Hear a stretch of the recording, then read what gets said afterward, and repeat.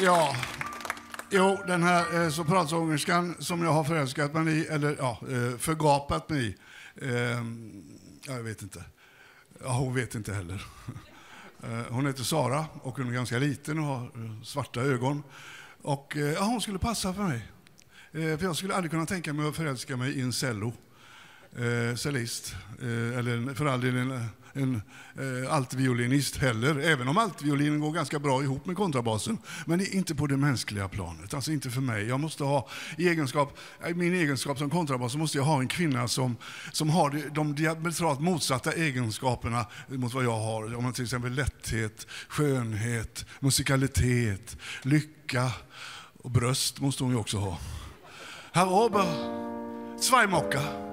Für Baby und für mich. Dazu ein kleiner Streuselkuchen. Mein Geld sitzt heute locker für Baby und für mich.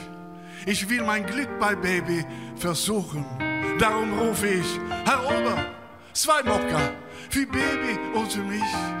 Dazu vom Baby einen Kuss.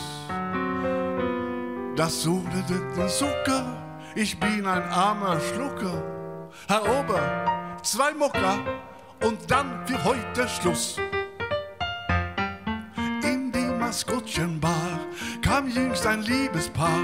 Er war so gegen 13 Uhr. Sie war vom Weibersein sehr froh, auch ihm war auch schon so. Sie sagte nichts, er sagte nur. Herr Ober, zwei und für mich. Dazu ein Stückchen Streuselkuchen. Mein Geld sitzt locker für Baby und für mich. Ich will mein Glück bei Baby versuchen. Darum ruf ich, Herr Ober, zwei Mocker für Baby und für mich. Dazu vom Baby einen Kuss.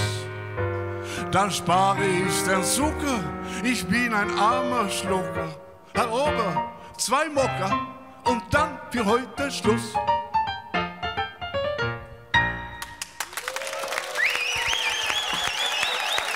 Thomas von Brömsen från föreställningen Kontrabasen på Lisebergsteatern.